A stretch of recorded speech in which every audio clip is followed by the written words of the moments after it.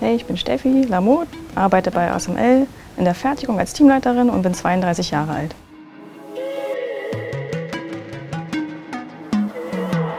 ASML ist ein Hightech-Unternehmen und ähm, stellt komplexe Lithografiemaschinen her, mit denen Unternehmen wie äh, Samsung, Intel und TSMC Mikrochips herstellen.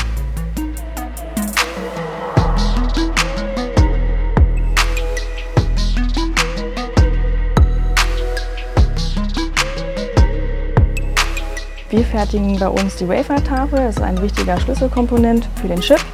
Und ich als Teamleiterin bin dafür zuständig zu koordinieren, dass das, die Tafel von A bis Z durchgeht und am Ende seinen Liefertermin einhalten kann.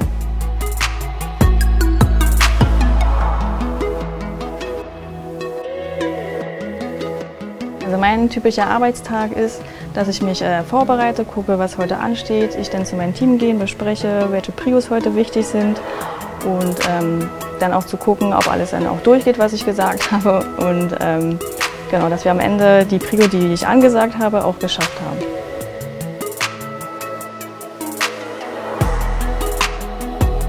Äh, mich fasziniert an diesem Beruf einfach, dass wir so viele Möglichkeiten hier haben und auch äh, die Möglichkeit haben, uns auch andere Bereiche anzugucken, um auch besser zu verstehen, was haben wir ja eigentlich alles für Komponente das fasziniert mich und dass es halt so zukunftsorientiert ist. Also jeder benutzt ein Handy, jeder benutzt einen Laptop und wir sind ein Teil davon und sind halt mit dabei, sage ich jetzt mal, in der heutigen Zeit.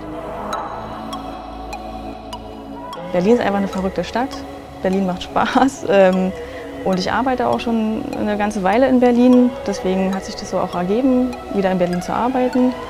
Und ähm, bei ASML hat man halt so viele Möglichkeiten, sich weiterzuentwickeln. Also ich komme eigentlich auch gar nicht aus diesem Bereich. Ich bin gelernte Friseurin und wollte einfach noch mal was Neues, äh, also Neustart anfangen und bin dann hier reingekommen.